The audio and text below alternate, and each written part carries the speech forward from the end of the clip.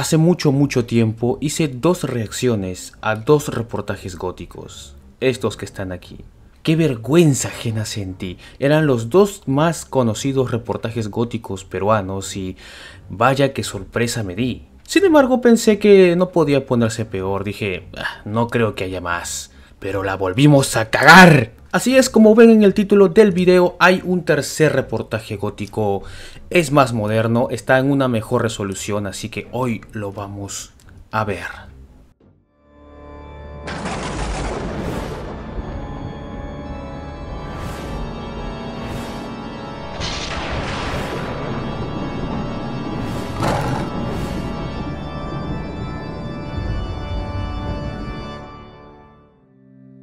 Hola, ¿qué tal? ¿Cómo están? Yo soy Drasir y bienvenidos a mi canal una semana más. No olviden seguirme en mis redes sociales, compartir este y todos mis videos y sígueme en Twitch que reaccionamos a música y vemos películas góticas y oscuras. En este tercer reportaje me saltó mucho el copyright, así que tuve que silenciar algunas partes, sin embargo le puse subtítulos. Solo se lo informo para que no se incomoden cuando algo no se escuche bien, pero está bastante clara las letras, así que me di el trabajo para ustedes. Sin más ni más, vamos a ver este reportaje gótico, creo que es del 2017. No es de un canal de televisión, creo que es de un aficionado que hace videos, así que vamos a ver cómo va esto.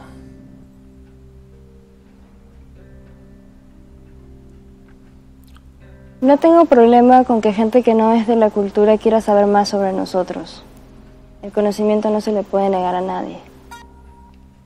Ok, pero no se ve muy gótica.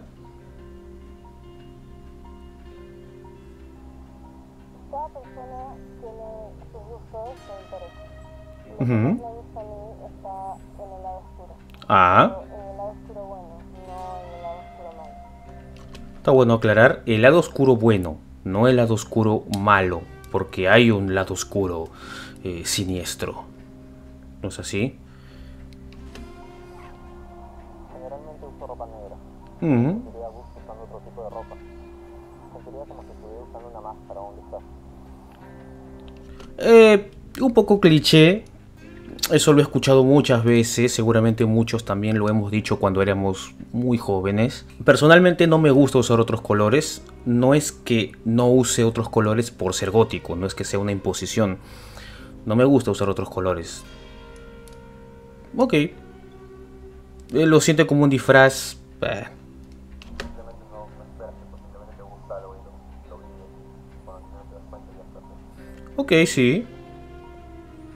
esperas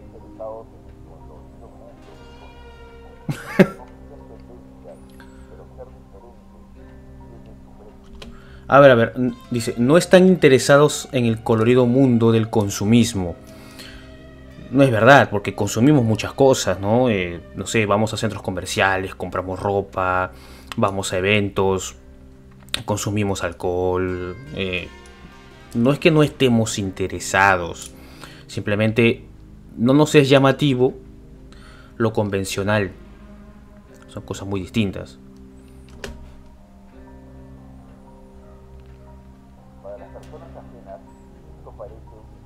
Felicidad. Ok, es verdad. Es un buen punto. La gente se acerca a mí y me grita. Eso es algo que yo nunca haría. Y pienso que ellos son los que tienen problemas, ellos son los groseros. Pero no me molesta. Es cierto, es cierto. La gente se cree, digamos, con la virtud o con la. con el derecho de criticarnos. No sé, la gente quiere ofenderse de nosotros, quiere, quiere que seamos los malos. Y si bien es cierto, ya no veo mucha gente que, digamos, te mm, ocupe tu espacio de esa manera. Lo he visto cuando era más joven. Actualmente creo que ya no. Useless words are going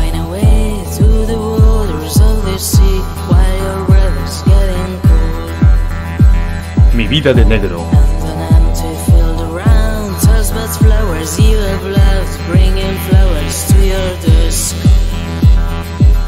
while your days are vanishing somewhere among the tides of your shining. A ver, esta chica no se ve muy gótica. De hecho, ella sí parece como disfrazada, como si la necesitaran eh, gótica para este video. No quiero ser prejuicioso, pero me da esa impresión. Hace nueve años, Caitlyn se convirtió en gótica. Se sentía atraída por el romanticismo oscuro y siniestro y por la melancolía. La melancolía, ok. Ha sido parte de la escena oscura desde la edad de 13 años Parece un panda. Bueno, no. Solo pienso en voz alta.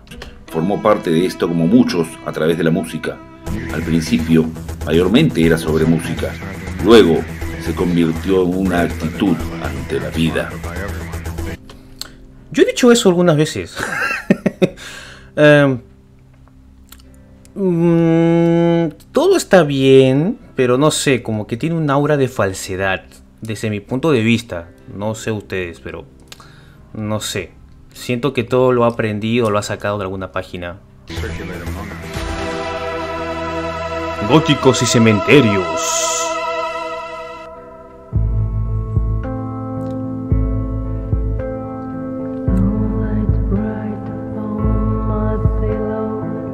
Desconectar de mi vida cotidiana es la principal razón por la cual vengo aquí. A nosotros los góticos nos gusta mucho reflexionar sobre la muerte. Eh, Para muchas personas es un tema que da miedo, sí. pero la muerte es parte de la vida y es muy importante reflexionar sobre ello. Coincido, coincido, está bien, pero eso no significa que pensemos en eso todo el día. Eso no significa que vayamos a cementerios para desconectarnos de la realidad. Bueno, cada persona tiene su lugar favorito al que quiere ir. No lo voy a juzgar, pero no lo sé. Ir a un cementerio todos los días para desconectarte de la realidad, no sé, ahí creo que ya hay un problema un poco psicológico. Cuando tenía 12 años, Uh, encontré a mi abuela tirada en la bañera. eso es traumático. Seis meses después, ella se murió. A raíz de eso yo empecé a escribir poemas sobre la noche y la nostalgia. Después de eso me di cuenta que a muy corta edad ya era parte de la escena. Y el color negro me fascina. No, no, no, no, no, no, no, no, no, no, no, no, no, no, no. No, esto no te lo compro. Esto es actuado, definitivamente. No puede ser, es que es muy cliché, muy aprendido todo y... O sea, por escribir poemas porque estás triste no te conviertes en gótico. Si bien es cierto, mucha gente inició en la escena por querer escapar de lo convencional, porque tenía gustos distintos, eh, tal vez mucha tristeza y mucha melancolía, veía reflejado o sentía cierta animosidad escuchando música gótica, frecuentan- frecuentando estos lugares y conociendo gente igual. Esto es muy, muy básico, no sé. Y ese collar que usa, lo conozco. Usé uno de esos de color verde, son de plástico, lo consigues en cualquier centro comercial o lo conseguías. Eh, no, esta, esta chica no es gótica, definitivamente. Marcelo también tuvo que lidiar con una pérdida temprana. Su abuelo murió cuando era pequeño. Actualmente ha desarrollado cierta preferencia por las catacumbas, criptas, cráneos y lo macabro. Eh, no sé si es lo que quiere dar a entender en este video, pero aparentemente para ser gótico se te tiene que morir un familiar. No es un requisito indispensable. Aparentemente. Ese cementerio de 200 años de antigüedad en Lima es uno de sus lugares preferidos. Viene aquí para reflexionar sobre las cosas que a menudo han resultado mal. Conozco el cementerio, es el presbítero maestro. Sí, tiene 200 años, en eso es correcto. Es muy grande y tiene, eh, como ven, nichos de pared, pero también tiene mausoleos en estilo eh, barroco, neogótico. Está bueno, si algún día se dan un salto por Lima, deberían visitarlo. Creo que es importante ser conscientes de que todo puede acabarse en cualquier momento. Ajá, Sabemos que vivimos, sí, pero no sabemos cuándo dejaremos de hacerlo, cuándo moriremos. sí. Por eso creo que todos debemos de vivir la vida como nos plazca, porque puede acabarse todo en cualquier momento. Estos piensan mucho en la muerte. O sea, yo entiendo que les pasó algo muy feo cuando eran muy jóvenes. Aparentemente a estos dos góticos se les murió un familiar. Entiendo que estén así. A mí se me murió una abuela cuando tenía 12 o 11 años. Y un mes antes murió mi tío. Los dos muy cercanos. Mi abuela vivía conmigo. Pero eso no me hizo gótico. Me hizo gótico mi gusto por la música, por el arte. Y no porque me transmita melancolía, sino porque esa melancolía, ese, romanticismo, me gustaba. Pero bueno, según este reportaje, tienes que pensar mucho en la muerte.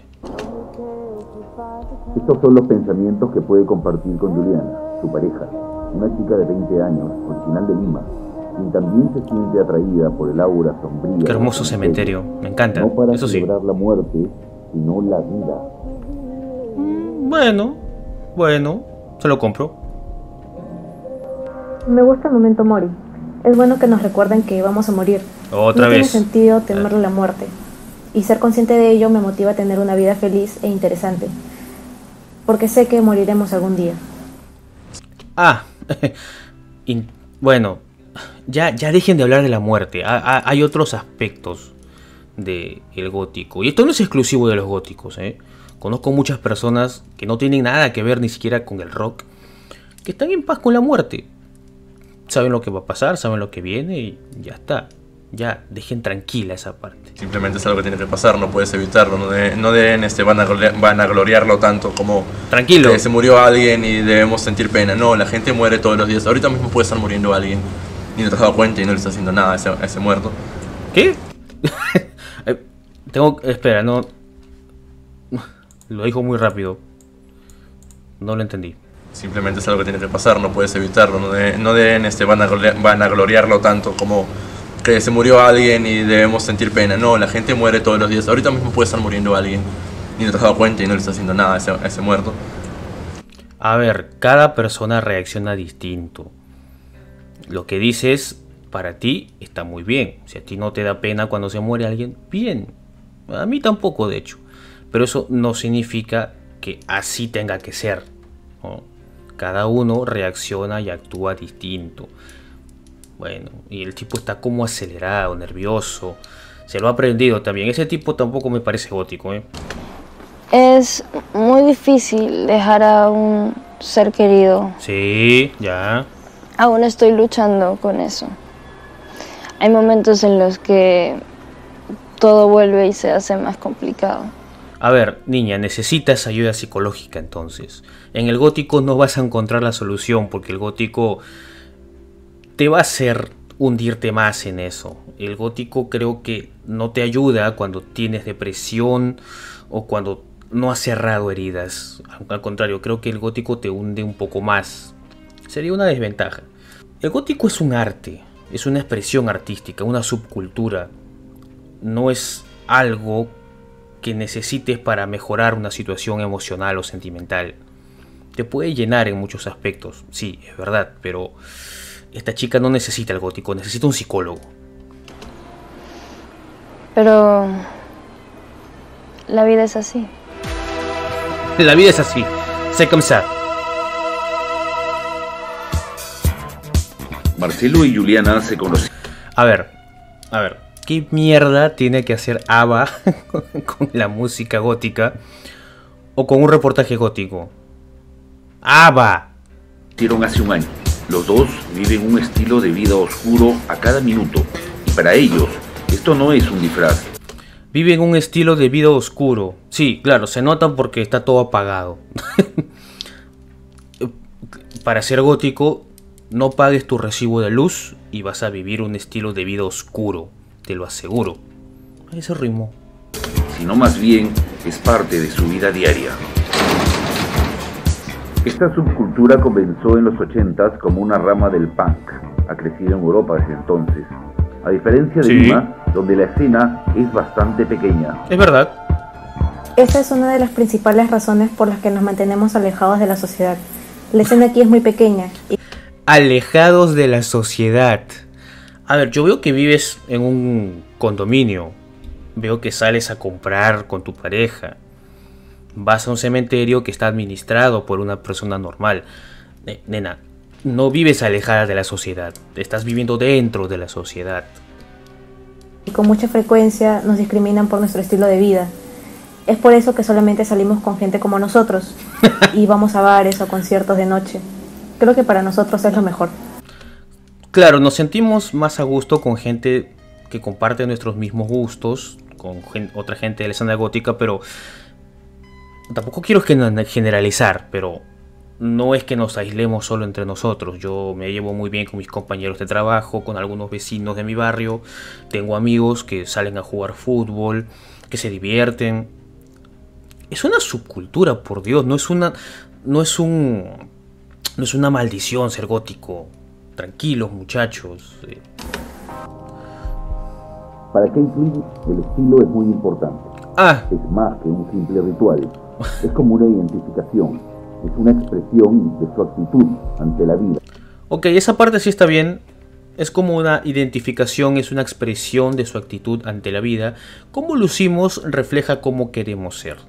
Eso es verdad. Pero que sea lo más importante, que sea como un ritual. No es un ritual, es cambiarse, producirse ya como te gusta, ¿no? No sé, tú, tú tienes una amiga que se plancha el cabello, tienes un amigo que se hace cortes modernos, a ti te gusta lucir gótico, es completamente normal.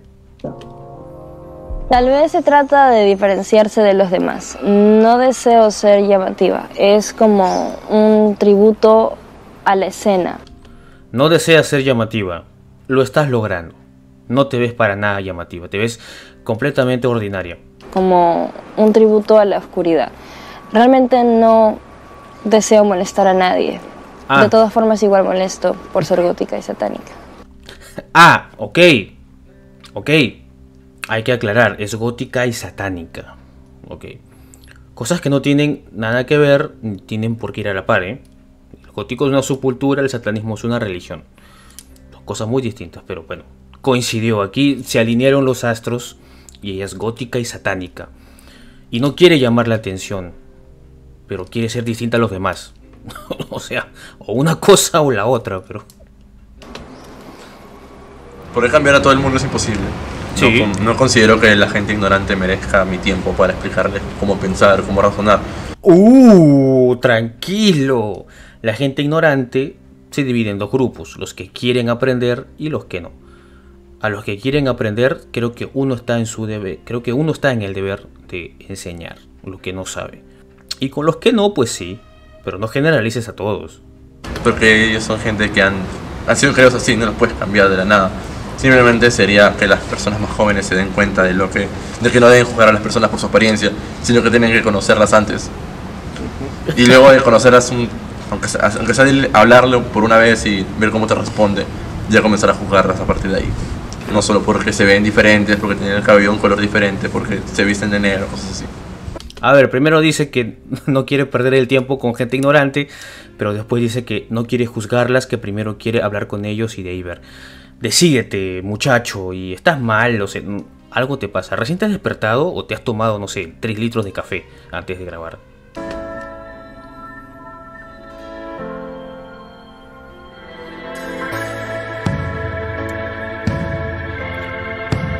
Juliana nunca aparece en público sin maquillaje como en este momento, ni siquiera frente a sus amigos. Se siente fuera de lugar. Con cada capa de maquillaje, su verdadero yo entra en acción. ¿Qué? Crea un rostro que se adapta a ella.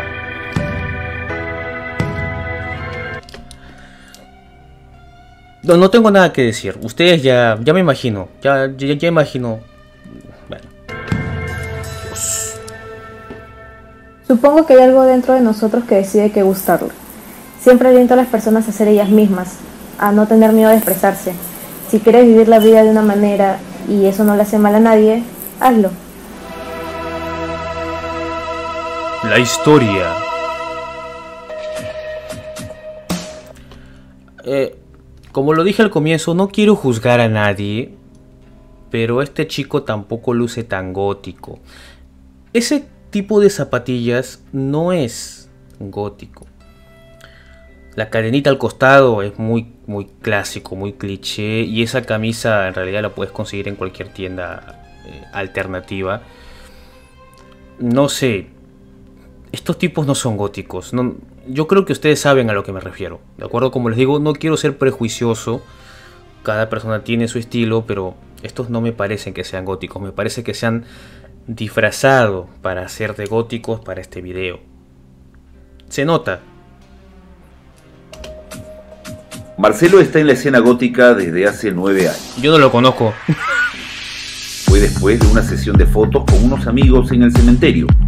Le gustaron las tumbas y se sintió a gusto y eventualmente el disfraz se volvió algo real para él. Mm. Ah, estaba en una sesión de fotos en el cementerio y de ahí le gustó. Listo. Simple.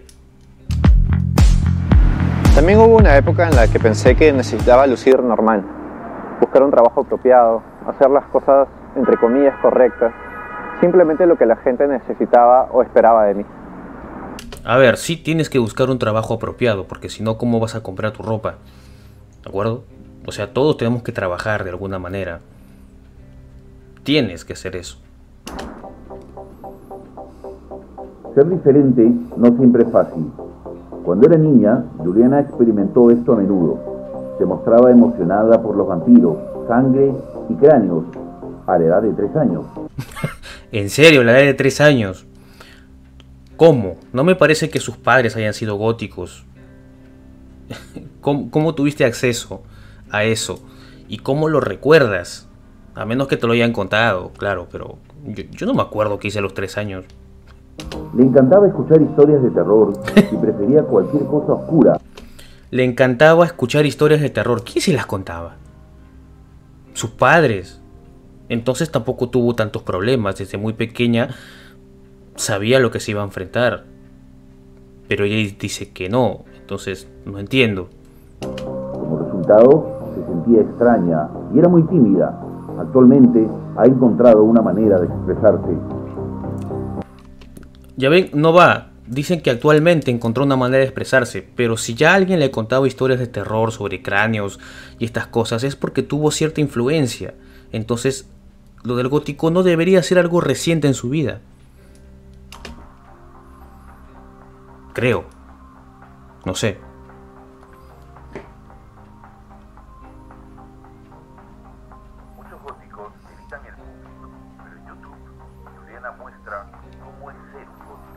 Ay, si lo que muestras es esto, entonces estás haciendo algo mal, Juliana. De rodaje han sido de mucha utilidad. Mm, no lo sé, no lo sé.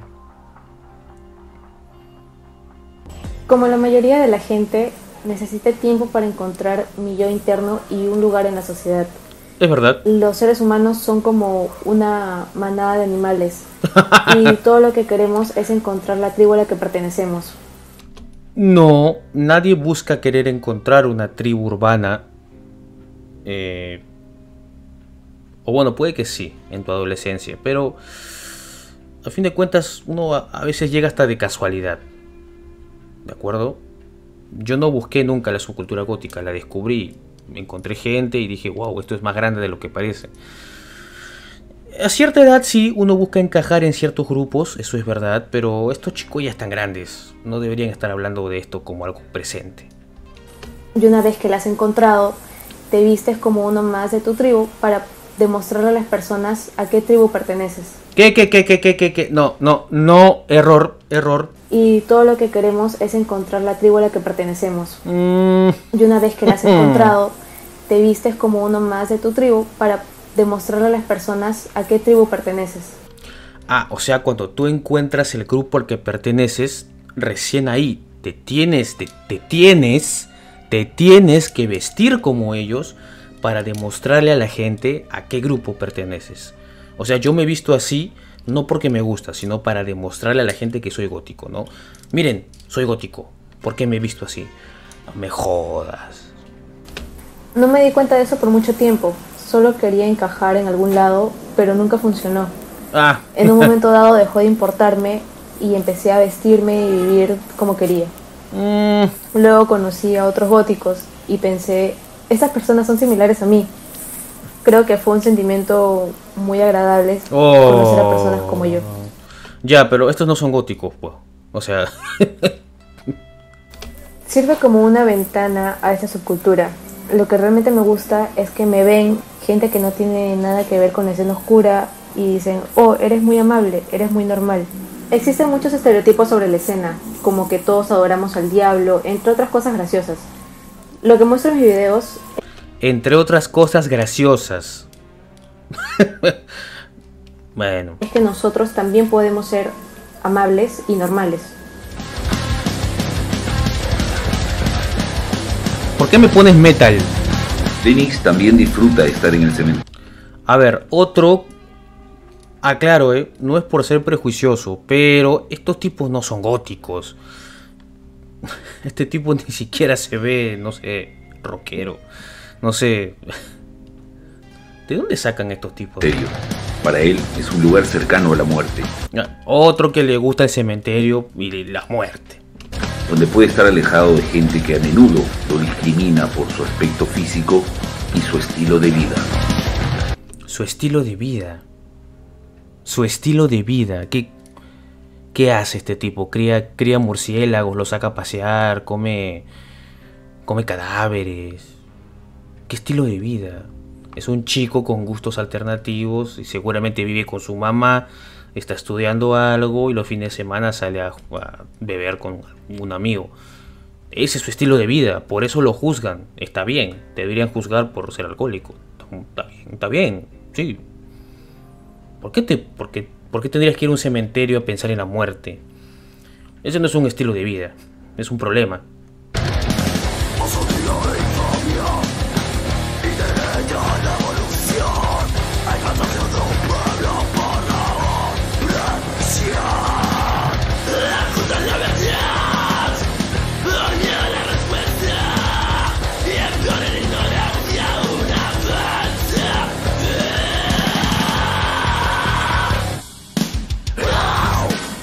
Me da- Wow. Sinceramente me da igual lo que pienso porque no debería importarme algo que piense un ignorante de mierda. No debería importarme lo que piensa un ignorante de mierda. Al insultarlo de esa manera tan efusiva estás demostrando que sí te importa porque hay cierto rencor. Cierto no, bastante rencor. Se nota, así que no digas que no te importa porque se ve que sí. Y segundo, eh, muchachos, si todos los días vas al mismo lugar, vas a ver lo mismo, te, vas a aburrir más. Hay otros lugares bonitos, neogóticos, barrocos, eh, neoclásicos que puedes visitar en Lima. Bueno, góticos no hay aquí, pero bueno. Me refiero a la arquitectura. Porque no son yo. O sea, no saben quién soy, no saben por qué hago las cosas, no saben este de qué manera estoy pensando en ese momento. Si ellos creen eso, simplemente son los ignorantes de mierda y no me importa su opinión.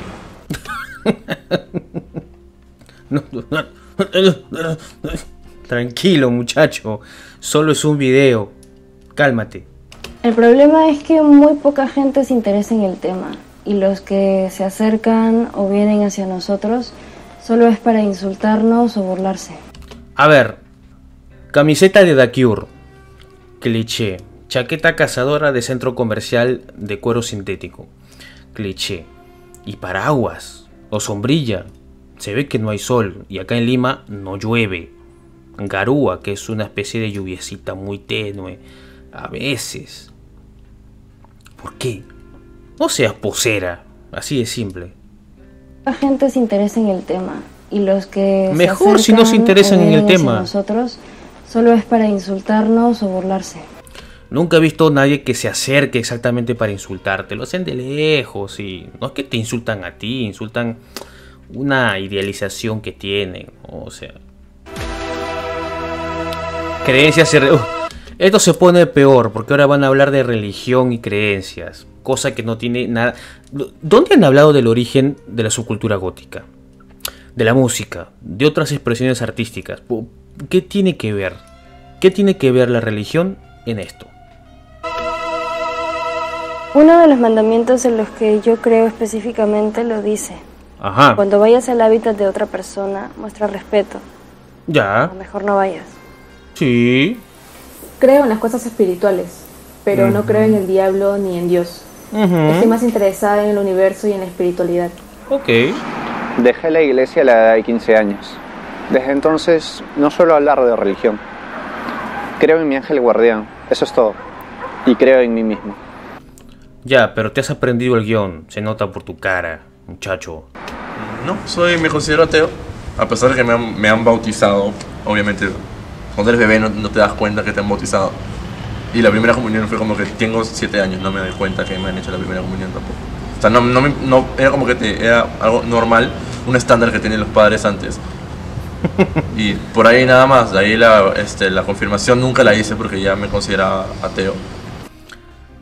Me considero ateo. Es una forma muy suave de decir que no estás seguro. Muchachos, si eres ateo, dilo. Soy ateo. No, me considero ateo.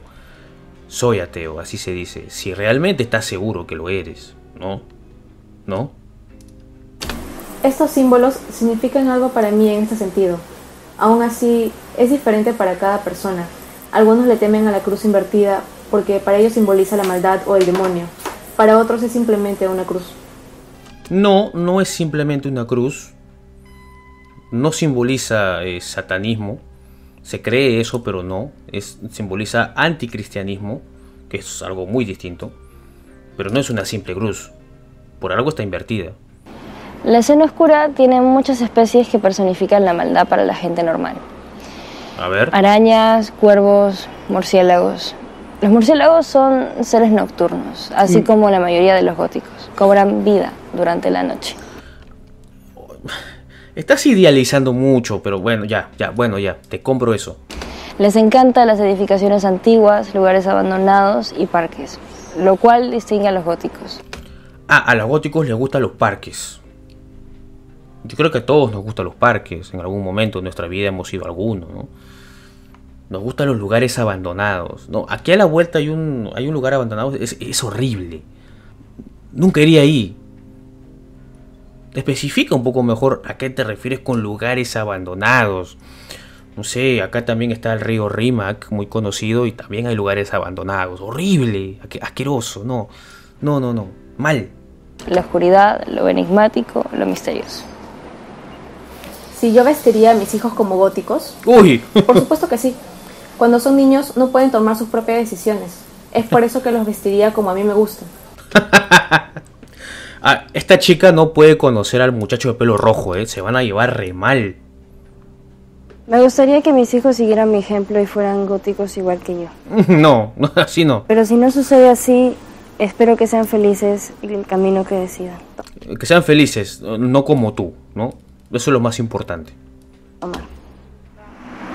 Al menos ese es mi sueño. ¿Cuál? Esa es mi idea de ser feliz. Feliz en un mundo hermoso de color negro. Aunque suene un poco contradictorio. Es así. Muchacho, si vas a memorizarte el guion, al menos eh, actúa mejor para que parezca que, eh, que lo dices natural, ¿de acuerdo? No así.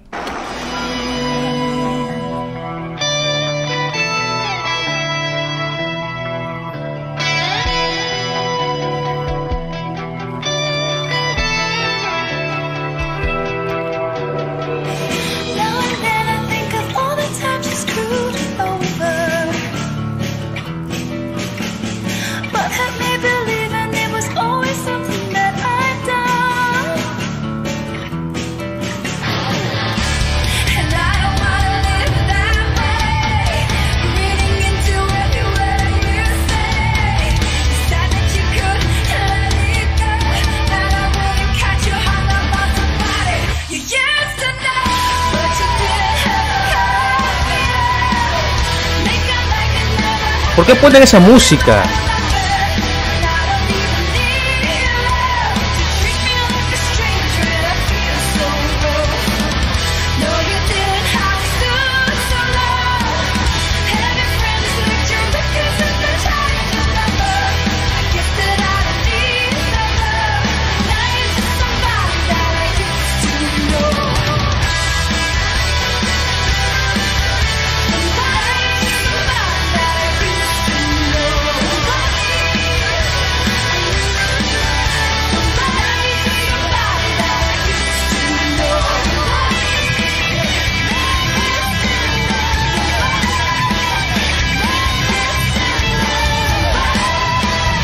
¿A dónde vas? Es un mausoleo.